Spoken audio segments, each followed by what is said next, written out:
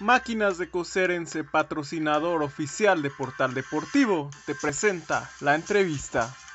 En entrevista a Portal Deportivo, quien habló fue el delantero de Zacatepec siglo XXI, Josué Bustos. Habla sobre el empate obtenido de Zacatepec siglo XXI de 0 por 0 ante FC Juárez en la jornada 14 del ascenso MX. Josué, pues desafortunadamente un empate, ¿no? Ahí que influye un poquito el arbitraje en el marcador. Pues sí, este, lo importante como se dice todo, no más que nada este, sumar, pero sí desgraciadamente hubo jugadas que no se pudieron concretar, pero yo creo que el equipo este, trabajó bien el partido, tuvo buenas llegadas y yo creo que vamos, a, vamos por buen camino para seguir los siguientes tres partidos jugarlos como finales. Por ahí tuviste unas buenas jugadas, entre ellas un cabezazo, ¿no? Que le pones ahí a Prieto y que desafortunadamente no, no entra.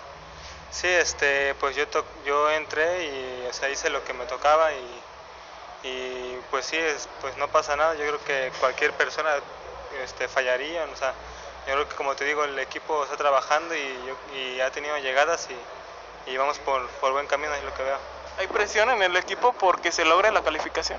No, no, no hay nada de presión, solamente estamos trabajando, te digo, a lo, a lo nuestro. Este, creo que venimos haciendo bien las cosas y yo creo que todavía quedan tres partidos donde se puede conseguir la calificación. Se viene Cimarrones, ¿no? Un partido que va a ser una visita difícil. Sí, este, todos los partidos a partir de ahora digo que van a ser como finales y la vamos a jugar así.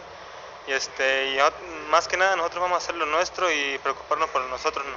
¿Qué le dices a la afición que se dejó venir y apoyarlos en todo momento?